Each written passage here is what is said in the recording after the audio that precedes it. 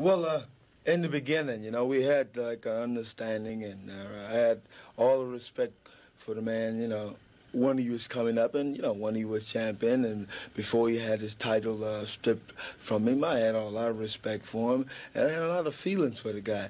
But uh, somehow down the line, it's a long story, Jim, you know, and uh, it takes hours and hours for me to tell you what it's all about.